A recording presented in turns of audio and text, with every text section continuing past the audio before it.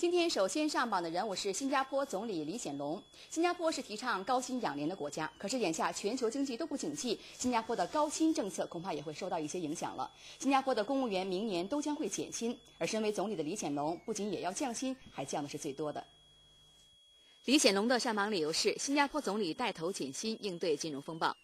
APEC 会议上，李显龙刚刚与各国首脑商量完如何应对金融危机，新加坡政府最近就出台多项应对举措。其中之一就是明年将会削减公务员薪酬，其中高层官员将减薪百分之十六到百分之十九。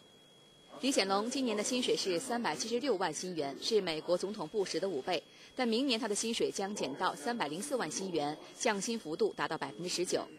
在李显龙的带领下，他的家人也加入到了减薪的行列。他的妻子何晶是新加坡最大的国有投资企业，资金规模达一千三百亿美元的淡马锡公司执行董事兼总裁。本周，淡马锡也宣布，何晶等高管明年年薪也将会减少百分之二十五。除了李显龙一家子，新加坡各部部长明年的年薪也将会减少百分之十八，国会议员的津贴将会减到十九万新元，削减了百分之十六。新加坡贸易部二十一号称，新加坡经济今年的增幅只有百分之二点五，比今年十月份预期的百分之三有所降低，而明年很可能会继续衰退。二零零九年的增长率可能仅有百分之一。